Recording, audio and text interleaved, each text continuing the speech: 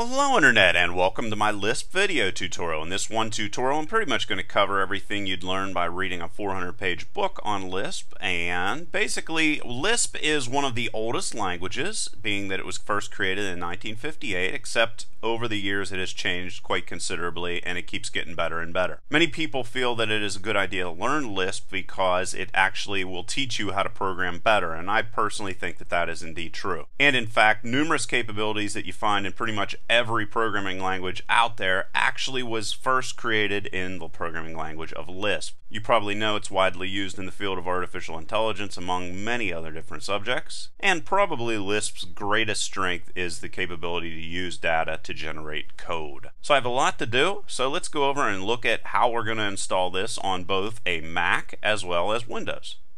Now, if you're on Macs, it's very easy to install Lisp. Just go to macports.org, install.php, and you're going to want to follow these little rules here. Install Xcode, and then you're going to come down here and install the proper part of MacPorts depending upon whatever your operating system is. Then after you install that, which is quite easy, you're just going to go into a terminal and you're going to type in sudo port install c lisp. That is it. You're done. And it's going to say all kinds of things like you should update and da da da da da. Don't worry about that. Just left that on there so that if you see all these warnings, you aren't afraid of them. And that is all you need to do on a Mac. Now let's take a look at what we need to do on Windows. Now on Windows, you're going to go to clisp.org right there. And then you want to come over here and click on Win32. If you want to save yourself a little bit of time, however, you could just go to sourceforge.net and this is project clisp files latest download and you're going to want to download Lisp there. Then after you download, it's going to allow you to set everything up. You're just going to click on next, and then you're going to say I agree, and then you're going to just leave everything the way that it is and click on next. And it's going to say exactly where it wants to install this. Click on next. Just remember where that's installed in case you have to look that up, which we will be doing whenever we are compiling our programs. Click on next, and it's going to install. Then after it installs, it's going to put this little guy here on your desktop, and you're just going to double click click on that and it's going to open up this guy. Now on both the Mac and Windows and Linux and everything, some people really prefer to use this. I am not going to use it in this tutorial because I want to be able to type a whole bunch of other description things out on the screen and that doesn't work very well here. But basically with this little program here you're going to be able to come in and do everything I do in this tutorial so if you feel more comfortable doing everything here, do it here. Otherwise do it in a test file and then you will be able to compile. So now everybody has all that installed so let's go over and start writing some code. Okay, so I have a basic text editor here on the left side of the screen, and over here I have my terminal, if you're on Windows, it's going to be command line. And if I want to open up C Lisp, I just go like this, and you can see exactly the same things that we saw there whenever we were using Windows. And I could also come in here and I could just say print hello, like that, and boom, you can see that it shot it right back out. You just wrote right there a Lisp program. And you're going to save your files with the extension .lisp.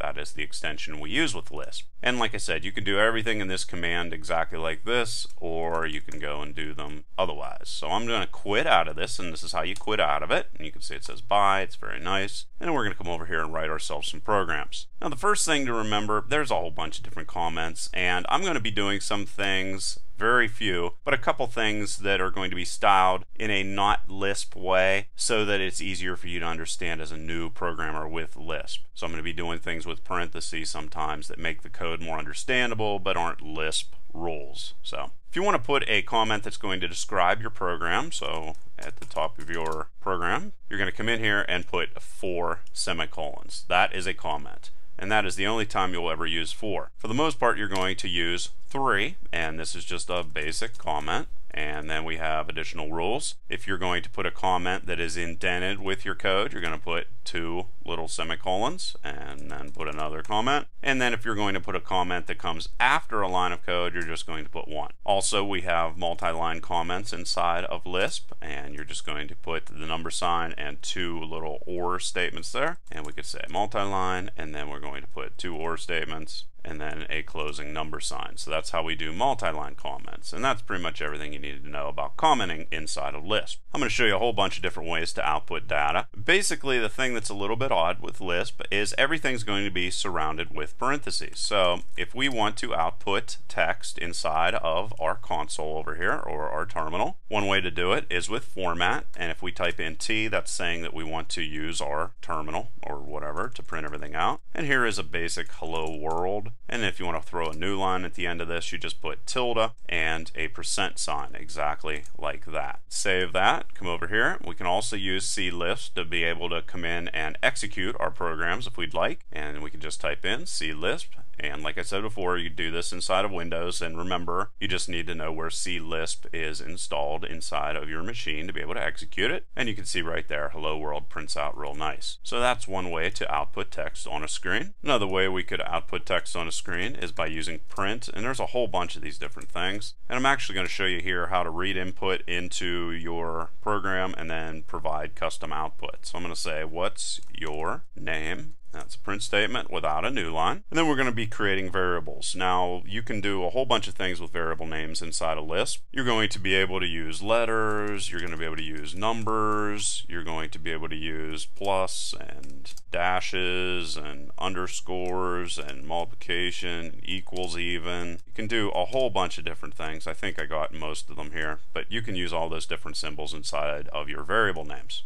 And normally, letters inside of Lisp are all going to be lowercase, and that's because Lisp is not case sensitive. However, remember you can't use whitespace in names because list items are going to be separated with whitespace. Now, if you're going to be defining a global variable, which we are going to be doing right here, you just do define variable, exactly like that. And global variables are normally surrounded by asterisks and they don't need to be, but this is just a general rule so that you can spot a global variable if you ever see it. If you want to read data from your console, you would just put inside of here, read, and that's going to create a new variable called name and it's going to read data from the console and store it in the variable called name. Well, we just jump right in here. I'm going to do like a simple intro and then I'm going to get into more detail then afterwards. Let's create a function and to do that you just kind of type in define function and let's call this guy hello you Remember, no white space inside of here for the function names either. And this guy is going to actually receive the name value. It's going to be passed inside of there. And then just to keep everything nice and neat, I'm going to indent this. Again, you don't need to do that with Lisp, but that's a good idea to do it. Going to put T inside of there, which says that I want to output to the terminal. I'm then going to want to put the name inside of there. So I'm going to put a tilde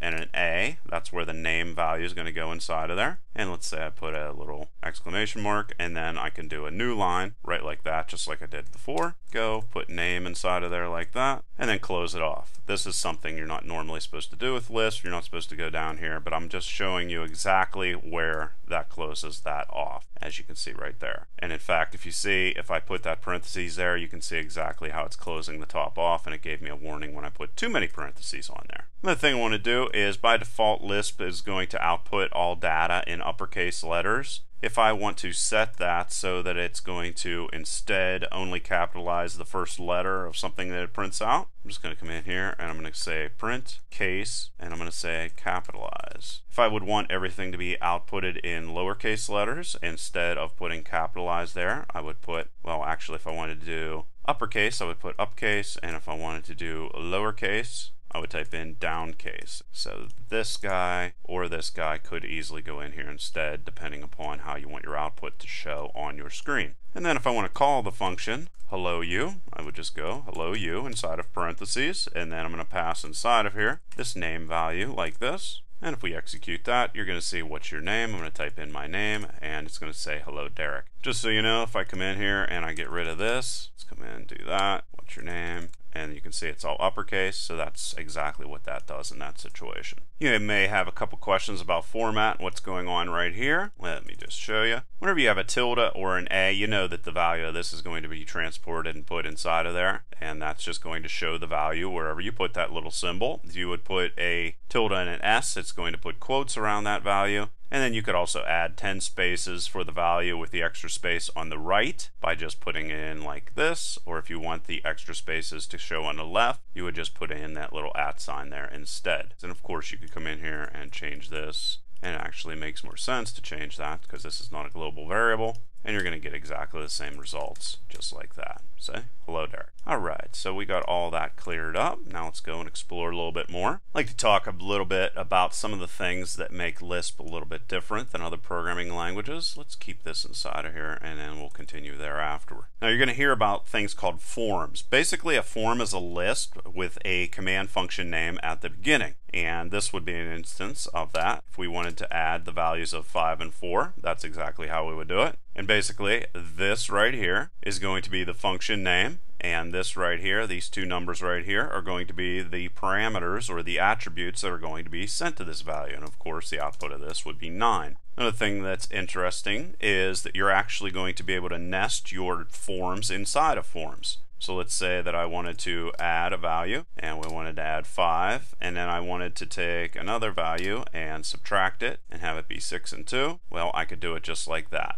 So this would subtract 2 from 6, give me a value of 4, and then add 5 and 4 together, which would ultimately give me a value of 9 as well. I know it might seem a little bit confusing using all these functions inside of functions, but as you practice with it and just look at it, it's going to eventually make a lot of sense. What you have to understand is basically everything is a list inside of Lisp. And all of these different individual pieces are going to be held inside of things called cons cells or consecutive cells. So, for example, if we would have plus and 5 and 4 like that. These guys are actually going to be in cells and they're going to be like this and this is where you may be able to see how by learning Lisp, other programming languages might be a little bit easier to understand. And you can see right there, all those guys are going to be inside of cells, and actually the last cell always is going to be nil, which also represents a value of false. It's used for many different things, but it's just a sign that the list has ended for this command that you want to execute. Now I already talked about how to define a variable. Let's just go in here and define another one. Let's say we have one that's just called number like this and we're going to give it default value of 0. Well, we could come in here then again and change the value for number, just like going set f, providing the name, change it to 6, and there you are. So that's how we're going to be able to change and define our variable names. And as you're going to see here in a little bit, you can also use something called let to define variables inside of a body and so forth, but I'm going to leave that out for now. Now let's take a little bit closer look at format and exactly how we can use that to output data in different ways. So here's format, and we're going to put T, so it goes to the console, and we could say something like number with commas automatically added in there, and we could put a tilde sign followed by a colon and a D that is automatically going to throw in all of our commas that we would like. And you can see that it automatically threw those in there. There's a whole bunch of different things here. Why don't I just go and show you exactly how they work. You'd also be able to come in here and print out pi with five characters just by putting a tilde and the number of characters you want to show here on our screen. We could just save that execute it. Da, da, da, da, a little bit of a mess. Let's throw in our new line so we can see this a little bit better. This and now you can see there is the numbers being printed out with commas. Here you can see that we only have five characters. One, the period, two, three, four. Here we're also defining the number of decimals by putting in a comma before the number of decimals and you can see there we got 4. And this guy will actually print out a percent. I'm showing you pretty much everything here as well as this one's going to automatically turn the 10 into a dollar format. So there's a whole bunch of different ways we can use format. Why don't we go and look a little bit deeper at different math functions we can use. Okay, automatically went in here and just to show you, we already covered exactly how we're going to add these different values together and there is a final value how we handle subtraction, how we handle multiplication, how we handle division. However, you can see that this is a little bit weird because it's going to actually output the division exactly the way you see it. If you want to show decimals for your division, you're actually going to have to have one of these be a float with a decimal. And then REM as well as mod are both going to return the remainder of a said division. And you can see exactly how we're able to come over here and put in these different functions and exactly where they are going to go in each of those those situations. So pretty easy to format and automatically input all these different math calculations. Now let's go look at a couple more math calculations. Okay, and now you can see right here how we're going to be able to perform all these other different math calculations like square root and exponent of 1 as well as log. And this is actually going to come out to a value of 3 because 10 to the power of 3 is 1000. That's how log works. Thought I'd just bring that up. Going to get a little bit more into how we're going to be able to compare different values to see if they are equal or not. This guy's automatically going to pop out a value of true, as you can see right there. Floor is going to round down, ceiling is going to round up, max is going to give the max of the values that are passed into it as well as minimum. We can actually check if a number is odd or if it's even. Nil is exactly the same as false. And we could also check if a value is a number. And you can see right here, null and nil and false are all exactly the same exact value inside of Lisp. And along with all these other different functions, of course, we're also going to have all of these other different things like sine, cosine, tangent, arcsine, da da da da da. So now why don't we jump over and actually look at equality and how that works inside of Lisp. Now basically, let's come in here and let's define a parameter. You can also define, you can do things in so many different ways inside of Lisp, but it's absolutely amazing. Well, let's define another guy here. Again, it's going to have the value of name, and I'm going to define it as a symbol in this situation. Then if I wanted to come in here and actually check for equality. So let's say that I say I'm going to use EQ in this situation. I'm also going to use equal here in a second. So name and check that it is equal to itself as you can see right there and let's go and throw a value out here in a new line of course I could then pass in EQ and Derek right like that. And you can see if I execute it that indeed those two things are true. Basically you're going to use EQ anytime you are going to be checking for equality in regards to symbols. Everything else is basically going to be compared with equal instead for the most part. So let's come in and just compare a couple of these different guys. Here you can see I'm doing a comparison between symbols so that indeed can be done with just equal instead of EQ and there you can see the output over there is nil or false. We're also able to check for equality between numbers, just basic old numbers with equal. Also going to be able to work with that with floats. Also going to be able to handle strings, and the only reason why I have this backslash inside of here is because I have a quote right there, and I want to differentiate and say that that quote right here is in fact not this quote, and how we do that is with a backslash. And you can see that it also is going to verify that they are not equal, these strings right here, by putting nil out because this is a lowercase and that's an uppercase. Equality does pay attention to the case of the values. And we're also going to be able to check equality between lists, and we're going to get a lot more into lists here in just a moment. If, however, you'd like to compare strings of any case and integers to floats, you could also come in and use equalp. And how that is set up is, let's go and do that. We type in equalp, and you can see right here, I'm going to compare a float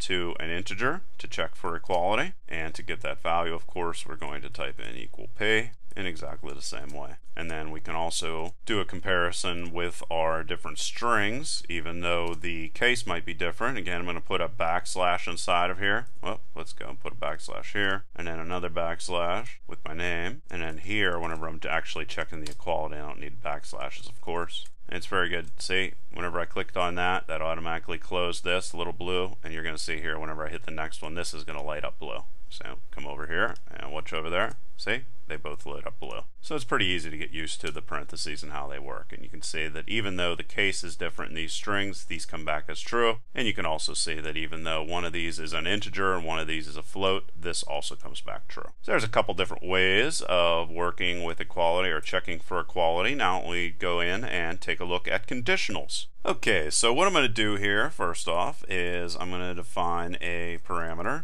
and I could use define variable. We could just do the variable. It doesn't matter. Both are going to work in exactly the same way. And this is going to be a global. I'm going to give it a starting value of 18. Now you're going to have a bunch of different relational operators. You're going to have greater than and less than and greater than or equal to, less than or equal to, or just simply equal to. And you're also going to, there's going to be a way to use or check for not equal, which I'll talk about here in a second. Eh, let's just stick to that and I'll get into the logical operators here in a second. Now if I wanted to perform a if conditional, what I'm going to do is say if and then I'm going to say equal, and I'm going to type in the to the variable that I want to check against versus the value. And the way this guy's going to work is it's going to perform the first thing here. Otherwise, if that condition is false, it's going to perform something else. So I'm going to say something like you can vote. Otherwise, if that condition is not true, I'm going to come down here and say you can't vote. So you can see there's no else inside of here. It's automatically built in. And you can either go and put your closing parentheses here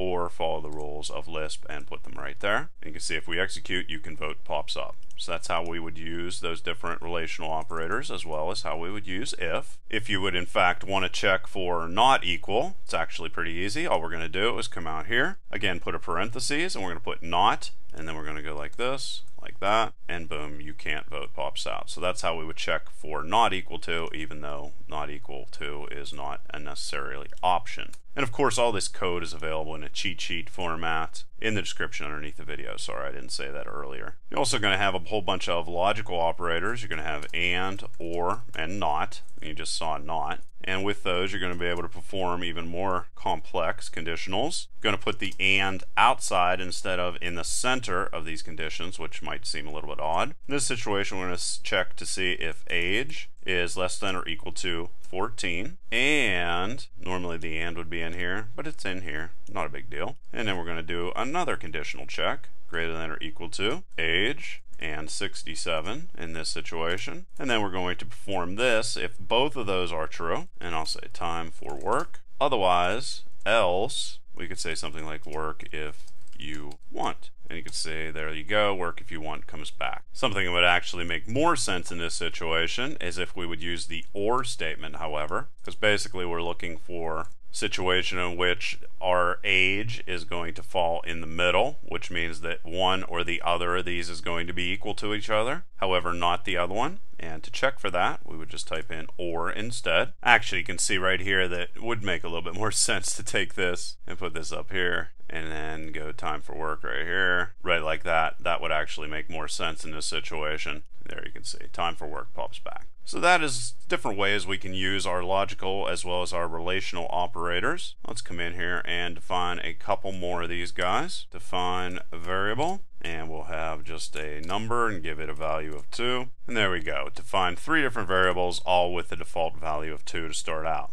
Now you might ask yourself, well, how do we perform multiple different statements inside of an if? Because that's something that we're definitely going to want to do. By default, you're only going to be able to perform one of them. Well, you could do something like this and then num2. So you can say if num is actually equal to the value of 2. Then if you want to put multiple different statements inside of them, you're going to type in prog n like that. And you're going to define all the different things that you want to set. So let's say that you wanted to define or set the value of num2 to be equal to multiplication of num2 times 2. Do that. And then you could also change the value of num3, just making stuff up here just to show you different things. And let's say that that would be a multiplication of 3 in that situation. Well, we're then going to close off the progn part. There you can see it closed off. And then here we can just do, we could do another progn for the else, but here we'll just keep it simple and we'll just say something like not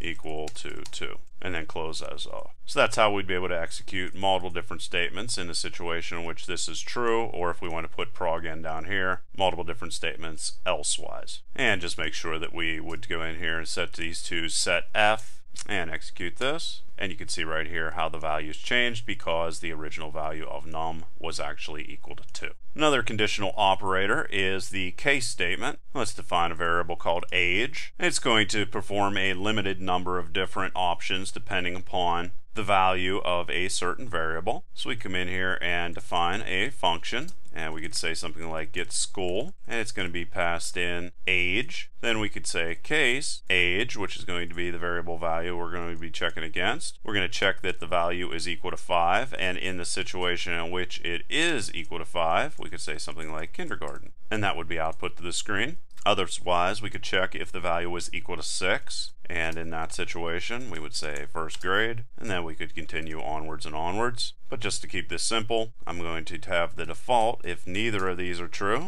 and you define the default with the word otherwise. And in this situation, I would print out and middle school. And of course we could come in here and call this function by going get school and then pass in the value of age and you can see kindergarten pops back. If you would ever want to put in a new line after the print like this, function you're going to use for that is just going to be ter pri. That just puts in a new line, as you'll see whenever we go and put some more information here on a screen. And now let's take a look at when, which is basically going to allow you to execute multiple statements whenever a condition is true. And how you use it is just go when, and in this situation we'll check for age to see if it is equal to 18. When it is equal to 18, we're going to go setf, and we're going to define number 3 to 18 come up here and just throw that in there. And then if we wanted to output information, you could say something like go to college, you are 18, close that off. And if we jumped up here and changed the value of age to 18, you're going to see when we execute that, that it's going to say go to college, you're 18. Another thing you can do is very similar, is it's called unless. It's basically the opposite of when. we could say something like unless, and then we'll put something like not, leave that exactly the same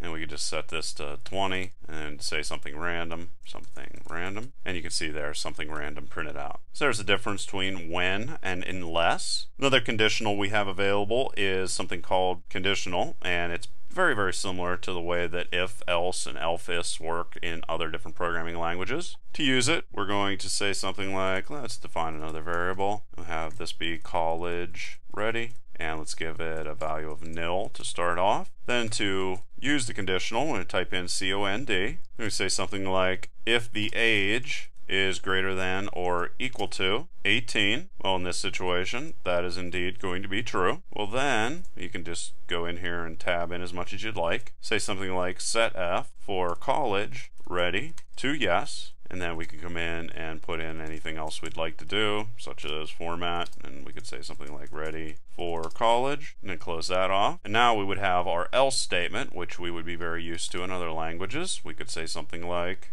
if age is less than 18 and we could just borrow this guy up here copy that tab in there and then we could change college ready to no and then say not ready for college. And then finally we would have your default which would be else and this is basically be saying if you get here, we'll just put a T inside of there for true. And by default, we're going to say something like don't know. And in this situation, you can see ready for college pops up. So there's a ton of different ways to use conditionals inside of Lisp. Now let's go and take a look at how looping works. Now basically loop is going to execute code a defined number of times for us. So we're just going to type in loop and hopefully you're getting used to the parentheses. And we're just going to say loop for x from, there's a whole bunch of these, some of them are easier to understand than other ones or are more usable. So in this situation we're going to loop from 1 to 10 and then inside of this we would define exactly what we want to do this as we iterate through our loop. And in this situation we'll just do something like real simple like printing out the value of x and you can see it did just that. We could also use loop to loop until a condition is met and then jump out of our loop and we could do something like, well, let's just come in here and set a value of x, a value of 1, and we could say loop, and again print out the value of x. And then we're going to increment the value of x each time it goes through here, and how we do that is just with plus sign and x and 1. And then we could put our when statement inside of here, which is going to jump us out of the loop, and we could say when x is greater than 10, and then we could do something like return x and that would jump us out of our loop. Basically going to look like the same sort of thing as you can see right there. You could also use loop to jump through a series or a list of different objects. Say for x in and then let's create ourselves a list. So we'll have Peter. We'll get a lot more into lists here in a second. Lists, I'm not saying Lisp. Then we would say do again, and we could cycle through these guys and print them out on our screen for ourselves close off that loop. Peter, Paul, and Mary printed right out there on the screen. And we could also, we wouldn't have to start at 1 by any stretch of the imagination. We go loop for y from 100 to 110 do and then inside of here define that we want to print out all those different values as well. And there you can see those printed out. Do times is another looping structure that is going to allow us to iterate a specified number of times and to use it. Do times and you're going to define y And let's just say we want to loop through here 12 times. There we go. And print y. And there you can see it went from 0 the whole way to 11. Starts out at 0 by default. And as we go, I'm going to give you a couple more examples of looping, but that's pretty much all that you're going to need for the most part. So now let's go and take a look at consecutive cells or lists and how they work, because they are very important inside of Lisp. Now let's say that we want to link together two objects of data. How you would do that is by typing in CONS or consecutive.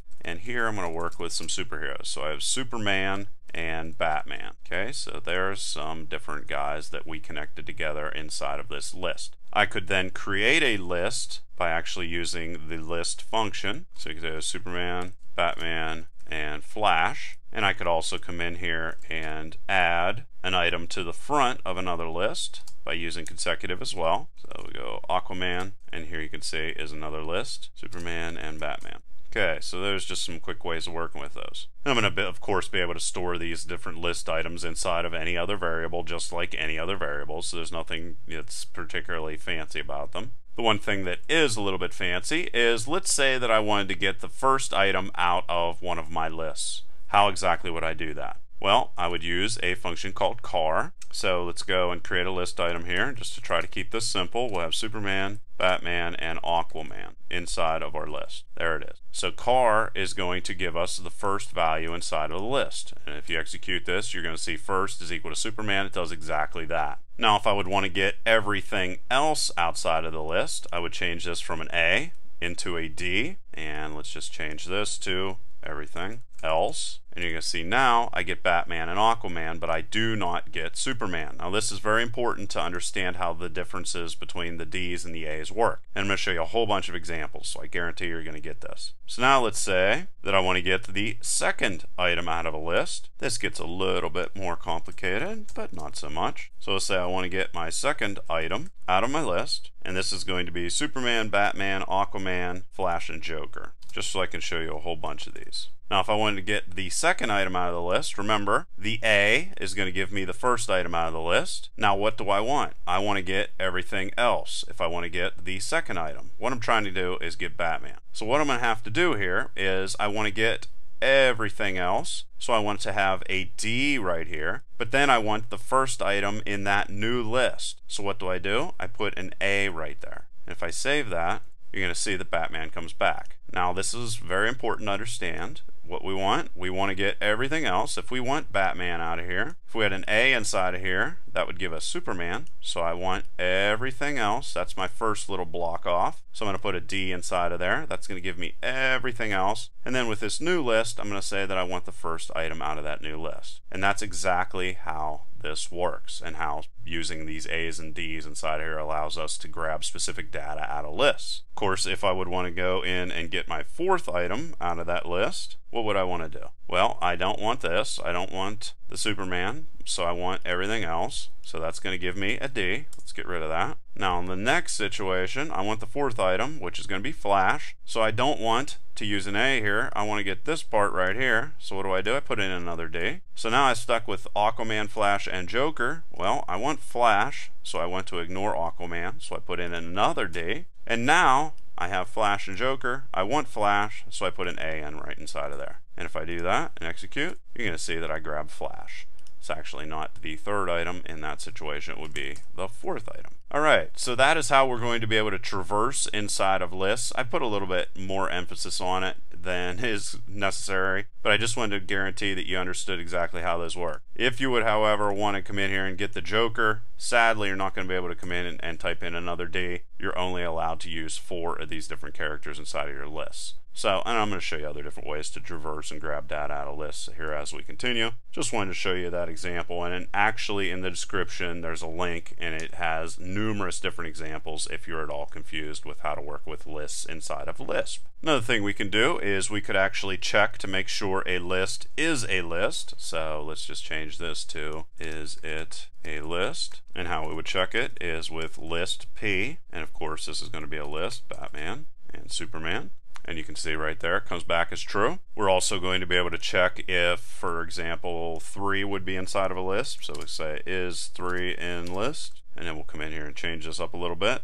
Instead of list P, we're instead going to say if member and we're going to say what we're looking for inside of the list. And then we say 2, 4, and 6. And then here we will provide a situation or an else in which they would not be true. And you can see it comes back as nil. You're going to be able to append or join together lists with the command append. So you can say just some random words. We're also going to be able to push an item on the front of a list. So let's say we go define parameters, nums, and let's create a list inside of here. And we wanted to push on to the front of our list the value of 1 onto nums. That's how you would do that. And then if we wanted to be able to get pretty much any value inside of our list, we could go format. And then what we would be looking for is the nth item, which we want the second item out of the list called nums. And you can see the second item in the list is 4. A couple other different things we can do with lists inside of Lisp. We could create what's called a plist, which is going to use symbols to describe the data that is inside of them. And how you do that is define variable like this. We could say something like Superman, and then we could say list, and here is the key that's going to provide information on the data stored. So Superman's going to be his public name and secret ID is going to be his secret identity. So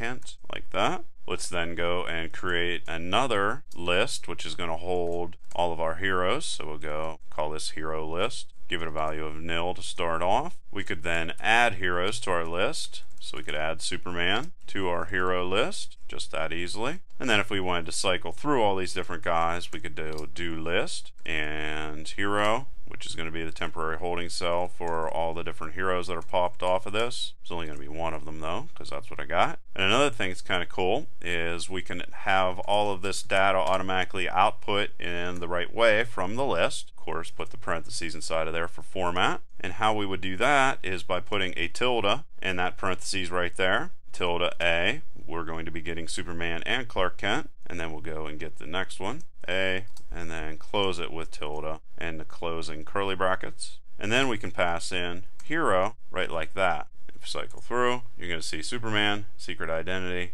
automatically pops out there on the screen. So if you didn't catch that exactly what's going on, it's cycling through hero each of the items in the hero list and it's automatically because I have this tilde and the curly brace and this tilde and this closing curly brace it's grabbing Superman out of there automatically for me. So I didn't have to say I want specifically the name and then Clark Kent directly out of there and putting that inside of there. So that's another neat little trick, way to cycle through all this different stuff. And that is a lot of information on lists. But now let's go and take a look at association lists because they're kind of cool as well. And all the neat little things we'll be able to do with those. Basically, let's go in here and we'll say define parameter.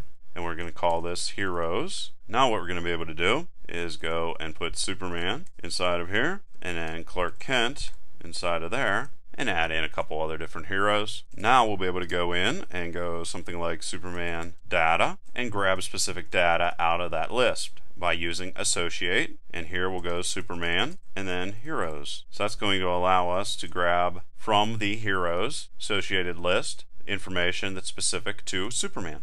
And you can see there is the Superman data. Superman and Clark Kent automatically pop out there for us. So we're able to associate those two guys with each other. And because this data is actually stored as a list, we're actually going to be able to use our little tools here, our CARs and CADRs and da da da da da. So we can go and get this list data right here, which is going to be returned from the association right here, and automatically get just Superman's secret identity printed out on the screen. Superman is Clark Kent. We can do other things with association lists. Let's go and create another one. This time we're going to be storing different pieces of data about our different heroes inside of this list. And then once again, if we wanted to come in here and get Superman's data, like in this situation, we wanted to be able to find out the height of our superhero. Well, again, CDR, if you don't remember how this works, we don't want Superman. We want to get this data right here, and then we want to specifically get the height. So we have D and A, right like that. And you can see that we were able to pull the Superman height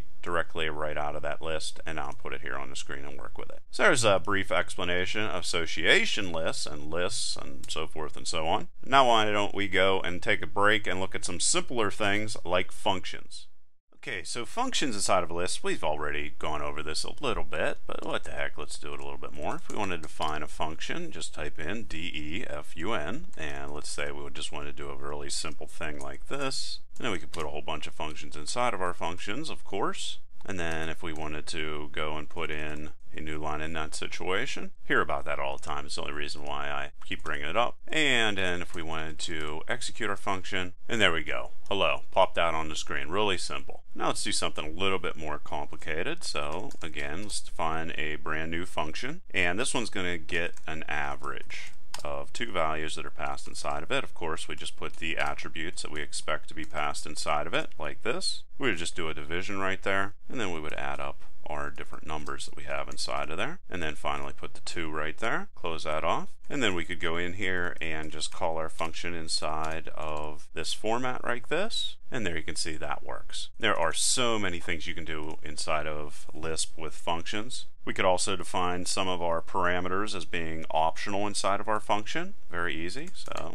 create another function. Let's have this one be print list, and then we'll just have wx, and then anything we want to be optional, we would just put optional before it with that and sign and then we could continue putting in additional different values inside of here. And then we could have these all output on our screen and then call our function print list just like we have been. And in this situation we're only going to pass in three values. You're going to see exactly what it does. It automatically goes and gives the last value a default value of nil. Could also set it up so we'll be able to receive multiple values. We'll define a variable and we're going to call this total give it a default value of zero. And now we can come in and define our function and let's call it sum and with rest you're going to be able to receive multiple values and I'm just going to call this nums. Now inside of here we'll then be able to go do list num. Nums going to sort through all the list items. Guess what this does? The rest turns nums into a list and as it's sorting through it's temporarily going to hold each iteration of the nums list inside of the variable named num.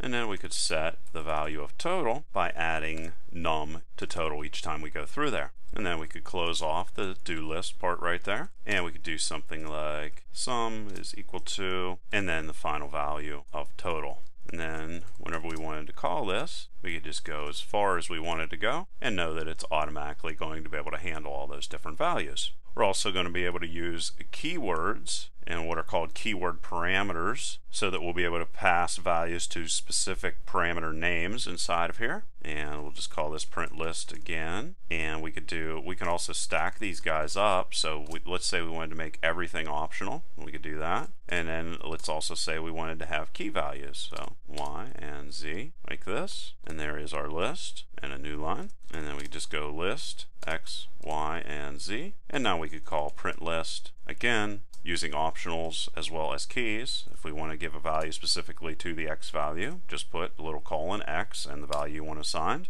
And then if you wanted to assign a value to y, you could do that as well, right like this. And you can see that that automatically works as well. Now defaults by default are going to return the value of the last expression that's executed. So this is actually what would be considered the return value. However, you could also return a specific value with something called return from, followed by the function's name. Just make sure you remember you always want to put return from and whatever the function's name is. So let's have this be difference, and it's going to get number 1 and number 2. And then if we wanted to return a value, we would say return from, and then the function's name, difference, this guy right here, is going to go right there. And then inside of it, we could just do a simple subtraction. So num1, num2, and then just call difference 10 and 2. Or better yet, let's just throw this inside of a format statement like that. And there you can see exactly how that works. Now let's take a look back here at association lists and functions. I'm going to just want to talk about something called quasi-quoting, which is going to allow us to switch from what is called code to data mode. And this is kind of cool. So what we're going to be able to do here is define a function and let's say get hero data is the name of our function and size is what's going to be passed inside of this. What we're going to be able to do is go format, but then we're going to be able to go in here and pull in specific hero data. We're basically going to be able to switch back and forth between data versus code mode. So we'll be able to execute code and put the code right in the middle of the data. It's really neat. So I'm going to go down the new line so we can see everything on one line. So here we go. So this is going to be quasi-quoting mode. And then if we want to convert something into actual code so that we can run this code inside of this actual data, say we can just put C A A R inside of here and size is and again we want to run a function again inside of this data really cool we can do that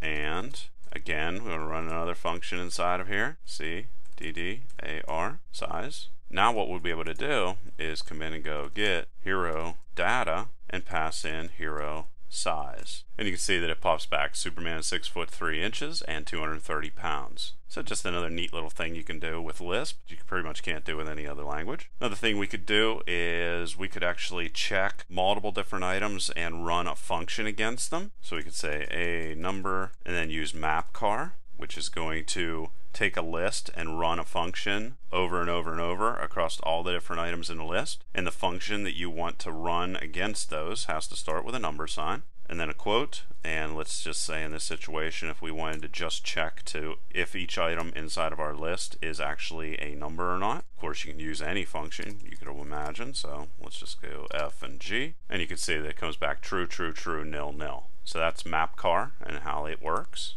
and how you can use very easy in one line go and check a whole bunch of different things inside of a list. You can also define functions local only to a specific area and you do that with something called flet. And the way this guy is going to work is you're going to have a function name inside of here and arguments that are going to be passed inside of it and then you're going to have the function body. It's going to be just whatever it's going to be all that stuff. And then you're going to have the body uh, that is going to execute that function. So let me just show you. Just wanted to some people get confused by this. So let's go flet and then we can go let's create a function inside of it called double it and double it's going to get a number and then what it's going to do to that number is multiply that number that it receives by 2 and then inside of here we're going to be able to execute it. So you can put functions inside of functions. You could also come in here and have multiple functions inside of flet. So let's get rid of that right there and then we'll put another one inside of here which will be triplet which is also going to receive a number and then inside of that we could define exactly what it's going to do. So it's going to get the number that it's passed in and multiply that times 3 and then close that off with three parentheses. And we could do something with double and triple 10 and then we could do triplet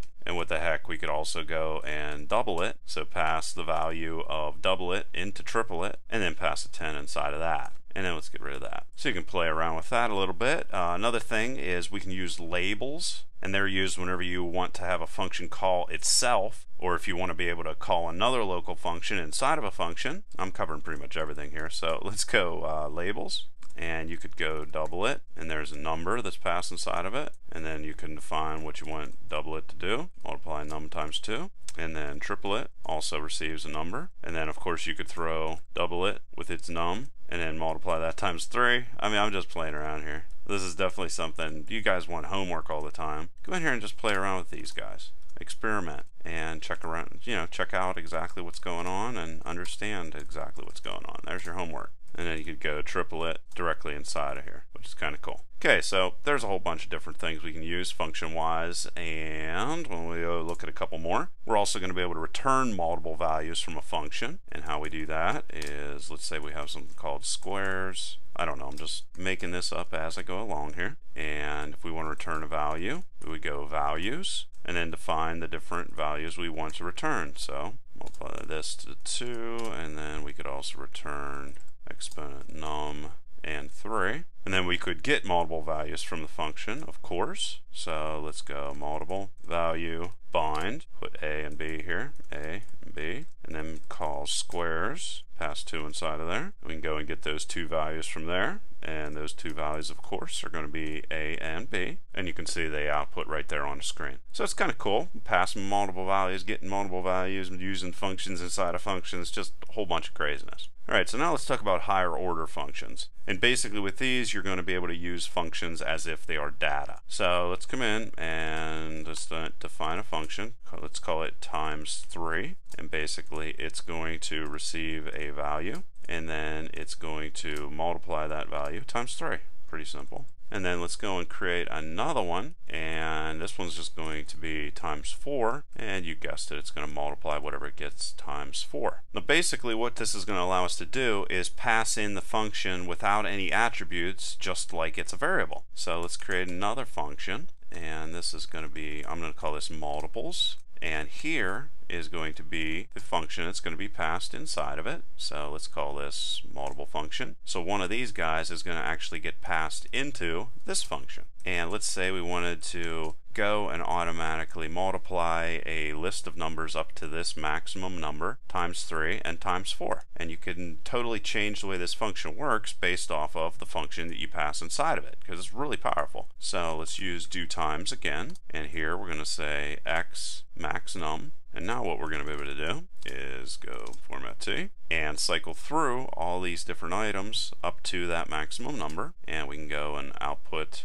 all the different values here so it'll be easy to see what we're multiplying times. And then we're going to take x. So x is going to go right here. And then if we want to use our custom function, we call fun call like that. And the function that we want to execute and the value we want to pass into that function. So this guy, one of these guys, is going to be passed inside of here and x is going to be this guy. So as it's cycling through here, it's temporarily going to get this value stored right there. So it's going to pass that into that function and then it's going to print that out on the screen. Now what we're going to be able to do is go multiples and then if we want to pass in our function, we have to put a dollar sign and that quote right there and times 3. And then the maximum value we want it to print out or print up to. And then of course we're going to do the same thing for 4 just to show you that it both works seamlessly. And there you can see it did. Went in here, multiplied everything times 3, and then down here, multiply everything times 4.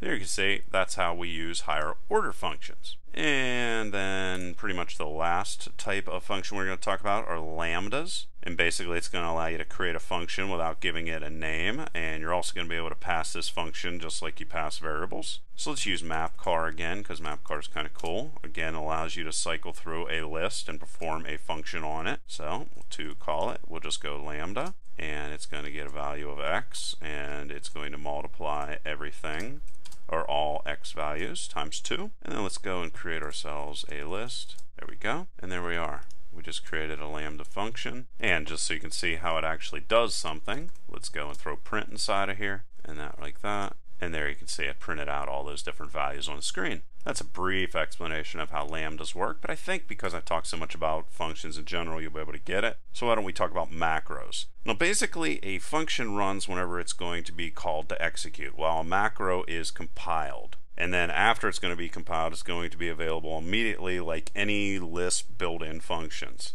and it might help to better understand macros in regards to they are used to generate code rather than necessarily perform actions. Now to explain them a little bit better, what I'm basically going to do is just create a couple macros that solve some problems. So let's say we have variables here. We have num, and then let's go and have num2 give it a value of 0. So now I'm going to change something that's a little bit irritating. Whenever we're working with if statement, it sometimes is kind of irritating to have to use progn if we want to be able to execute multiple different functions inside of here if this comes back as true. And one way that we can solve this, or at least one canned way that I'm going to force uh, macros to solve it, is I'm going to create a macro that is going to fix that. Now to define a macro, we just go define macro, exactly like that. And I'm going to call this if it. Now what it's going to do is if it, our if it function is going to get a condition passed to it and then it's going to get a list of statements that we are going to store. We're going to use rest for that as well and that's going to be the body of the function that we're going to be working with here. So we have a condition and then all the statements that we want to execute here are going to be those statements right there. Now in this situation I'm going to use quasi-quoting again which is going to be this backspace right there, that quote right there, and this is going to generate all the code. Remember I said macros generate code. So the code that this is going to generate is if, and then we're going to follow this with the condition. And then inside of it, we can put progn, and then the body of the statements that are passed inside of here. We're going to put this comma right here to automatically turn this from data into code mode, just like we did before. And how we're going to get that is type in body like that with the at symbol. And then we could do something like format. This would be the else part of it. Can't drive like that. And then we're going to close that off. And there we define a macro. So basically it's just going to change the way that the if is going to work. It's going to have the if, it's going to have a condition, it's going to take prog, it's going to get all the statements and put them inside of the prog block, and then it's going to use this as else otherwise. So now let's go and use it. So we could do something like set age equal to 16. And what this is going to allow us to do now is use our new ifit function. We're going to be able to pass in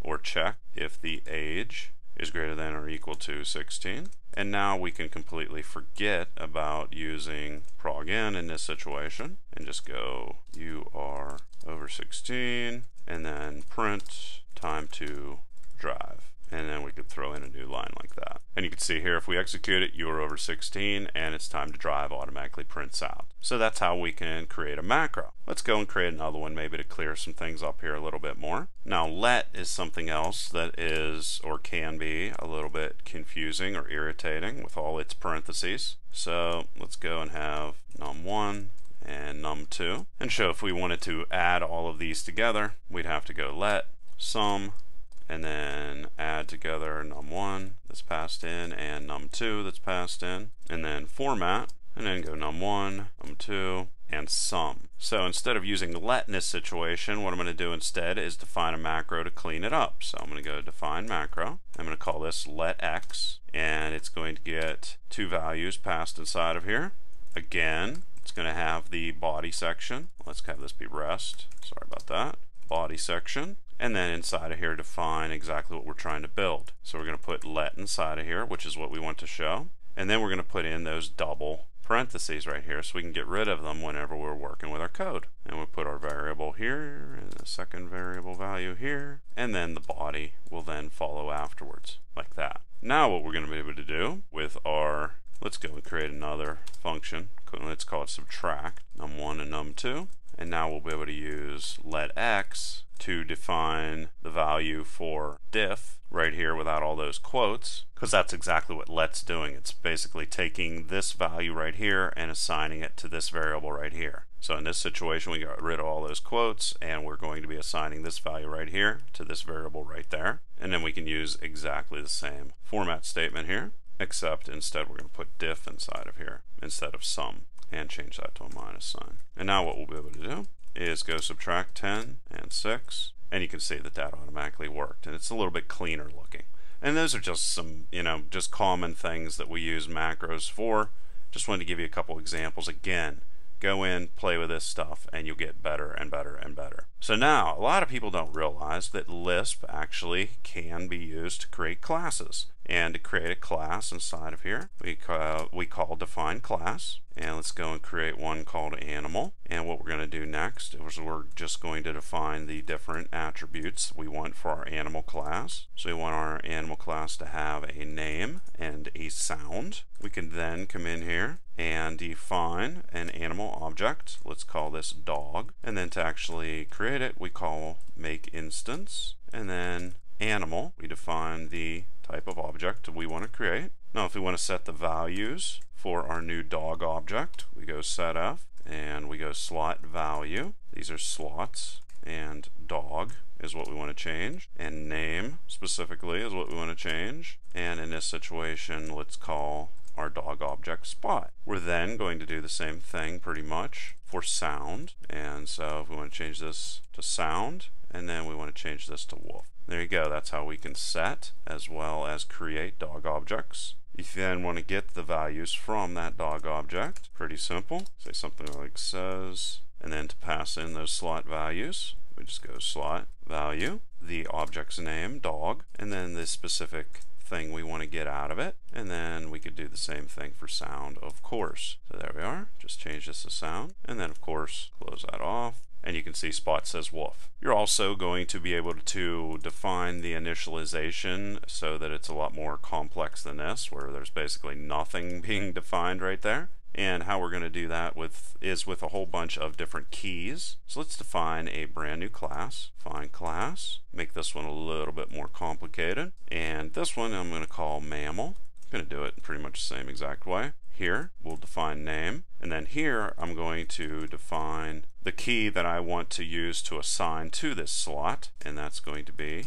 name. I could then come in and define that I definitely want a value. If you ever create an instance of mammal, I definitely must have a value provided for the name slot. Otherwise, I want to show an error, and I can put anything in here. So I could say must provide a name whenever we're creating that, and then close that off. Show you a couple other different things we can do as well. And for sound, again, we want the key to be associated with this to be called sound. We could also come in and define a default value for our all of our sounds and let's say that we want that to be no sound and that's how we would do that. And we could also come in and have things called getters and setters automatically generated by going, this is going to be the way we're going to get and set is this guy right here. But by putting accessor inside of there, you're going to automatically generate getters and setters so you can change the value for sound. do the same thing for name, of course.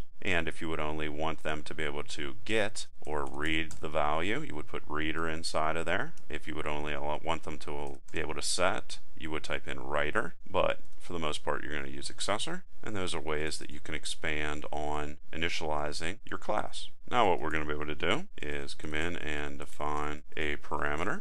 And let's call this guy King Kong. And we're going to make an instance of the mammal. So we're going to say mammal. And then we're going to define the name, which of course is going to be King Kong. That's how, that's where the name part, this sort right, right here comes in. And then we're going to define the sound in the same exact way. So sound, and let's say we want this to be whatever. And there we go. And that's how we can initialize with all these other nice little tricks we have. And of course, we're going to be able to output all this information on the screen. King Kong says roar, as you can see right there. Of course, if we would have come in here and tried to create a King Kong mammal without providing a name, it would have print this error out on the screen. You could go and test that and try it out just to make sure. Let's go and create another mammal, and let's call this guy Fluffy. Again, you're going to do pretty much exactly the same thing as we did here with King Kong, except this is going to be called Fluffy instead and we're going to have him say meow. We'll do a couple more things with Fluffy. And you're basically going to have things called generic functions, which are going to have a name and a parameter list, but no implementation. And the reason for this is because in Lisp, methods don't belong to classes, but instead belong to generic functions, which are responsible for executing the correct method based on the data that was passed. As you're going to see here, let's say, let's define a generic function, define generic,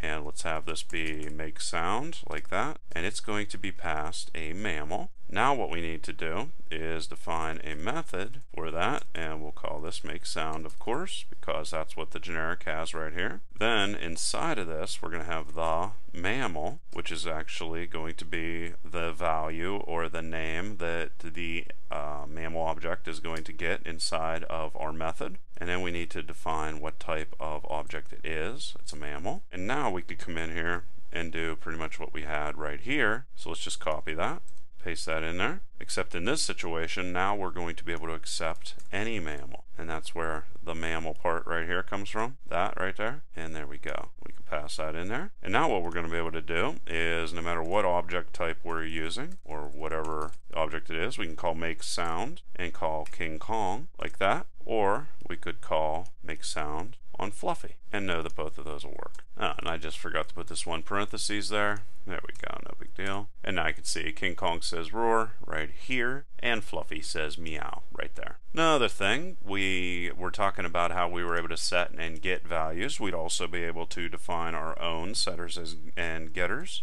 And we're going to do that again with creating a generic function. So define generic. And here, if we want to define the setter, we'll go setf, and let's say it's mammal name, and then we would type in value, and then it would be the mammal. This would allow us then to go in and go define method for this setter, setf mammal name, value, and then inside of this we would put the mammal followed by mammal, which is the class type. And then inside of this function or this method, we could go set setf, slot value, the mammal, which is going to be the object, the value that we want to set, and then the value that we want to give it. So that's how we would create that. Again, we would create a getter function in much the same way. Define generic mammal name, and it's going to be passed a mammal object. And then we'll define our method. Mammal name is what the function is going to be called, or the method is going to be called. The mammal. Define the object type for it.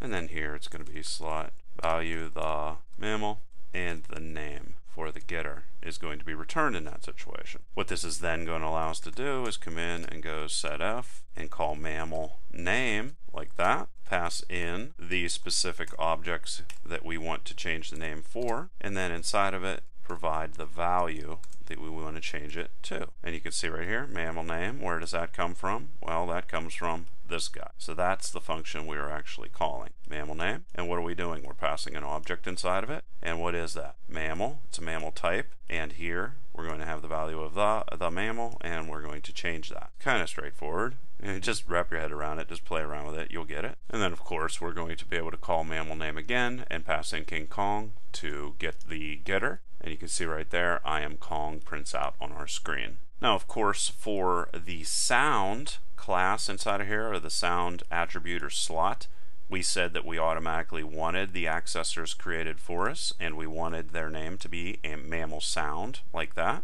So in that situation, we don't need to create the getters and setters. We can just go ahead and use them. And to use the automatically generated getters and setters, which is what you're going to do 90% of the time, you're just going to go mammal sound, make a call to that guy, and let's just have this be King Kong like that. And then inside of it, we could give it a new sound. And then of course you'd be able to print that out on our screen. Just going like this and changing this to mammal sound. And as you can see, it printed out the new roar. And pretty much the only thing that I have left here is to talk about inheritance. And basically inheritance is going to allow us to automatically inherit all the attributes of our superclass and then call methods that are going to accept the superclass. So let's just come in here and go define class and let's call this dog. If you want to inherit from the mammal class, for example, you would just put mammal right there, and then you would follow that up with two open parentheses, and there you go. You just created a subclass called dog of superclass type mammal. You could then come in and create a new dog type. Let's call it rover, and then make instance like that and you want it to be a dog type. You want to define its name as Rover, and you want to define its sound as Wolf. And that's how easy that is. And now you can automatically use any of the methods as well that will accept mammals. Just make sure you call it rover with a star. And there you can see rover says wolf. Now let's take a look at some data structures that are available to us in Lisp and let's makes a lot of sense to start off with arrays. If you want to create an array, you can just go create or define parameter and let's say I want one called names and then I'm going to call make array 3 like this. There we go. I made an array that's going to hold three pieces of data. We can then add a value using setf, and then we would just go aref names. So I'm going to make a reference to my names array, and in the first part of that array, I'm going to put in a symbol called Bob. I can then get a value from that index as well, a reference names and I can specifically get the first item in that array and I could come in here and go format T and you can see Bob pops out on the screen just like that. You can also make multi-dimensional arrays as well. So let's say that I wanted to make a 3 by 3 array like this and just make array and then inside of here, I'm going to define that I want it to be 3 by 3. And you can also come in and do initial contents of the array right at the initialization. So for this guy, I'm going to have this, and then it's going to be a 3 by 3 array. So I can just, well, I want to put a space in between each of those. And then a space between all of these as well. And 6, 7, and 8. And there we go. We went and made a 3 by 3 array. And we just want to close all those off and there that is. Of course, I'm going to be able to cycle through and print out all of these, and let's just use dotimes because that's about the easiest. And so I'm going to start off with value of x. I'm going to increment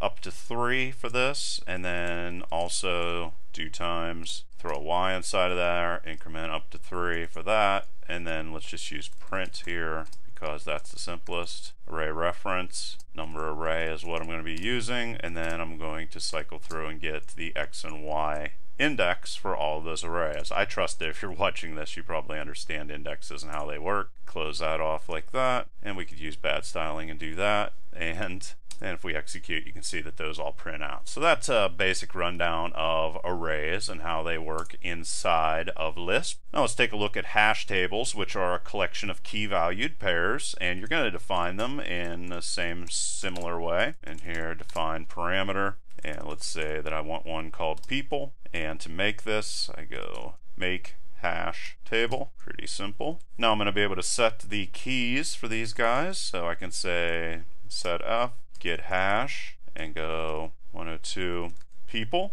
So I'm assigning or making reference to the hash table people here, and I'm giving it this specific key right here. And then I can just assign a value to it. So let's say, I'll close that off. Say I want to put an item inside of here that's going to be Paul Smith. Added that inside of there. And of course we can go and add a whole bunch more. I'm going to keep it fairly simple. Let's say that the next key is going to be 3, and this is going to be Sam Smith. We can then get the values stored in the 102 key if we'd like. And to do that, we just go gethash, and then we would just type in whatever the key is, and then the hash table that I want to be pulling that information from. And there you can see Paul Smith pop back. And then we could also use maphash, which is going to execute a function on multiple items inside of a list, like we saw before. So let's just say we want to go maphash, and the we want to run a function, so we have to put a number sign and then a quote. And let's just use a lambda function here again.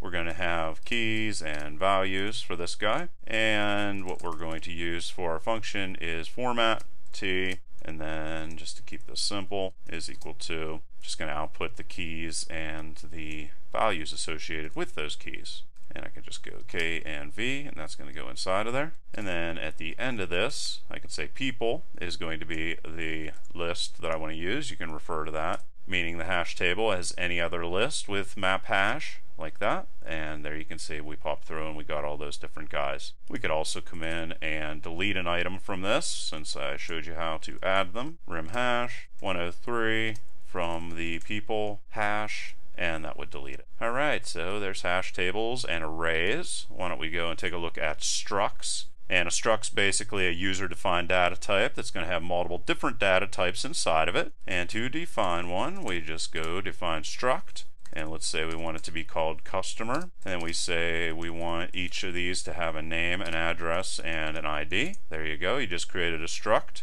We're going to be able to store data inside of there quite easily. Just set q give it a name. So let's say we want it to be called Paul Smith. Paul Smith. There we are. And to make one, we go make customer, and it knows what you're referring to.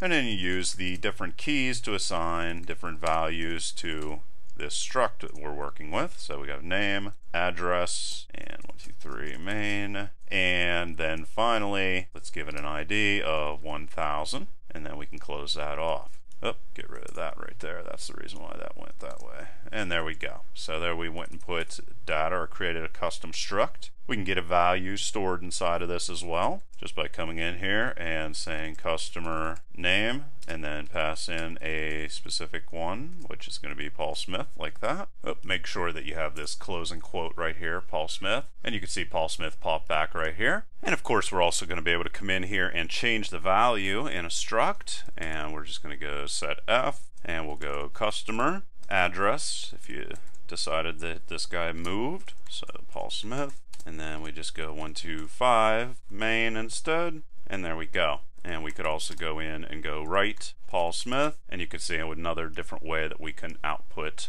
the information in the struct on a screen. There's so many there's so many different functions that are built into Lisp it's unbelievable. And we could also come in here and make a struct. Let's say we want to go Sally Smith and put a special ID inside of here just for the heck of it and make customer like that. And then we come in and go name Sally Smith pretty easy and she has an address. And let's have this be 126 main and then give it the ID of the ID that we put inside of there and then close that off. And of course you could come in and print all that stuff out in exactly the same way. And basically the only thing I haven't covered here is file IO if you wanted to write some piece of information to a text file you would just go with open file and you would type in my stream. You're going to then define inside of here the text file that you want to write to. And if it hasn't been created it will be created for you as long as you have permission of course.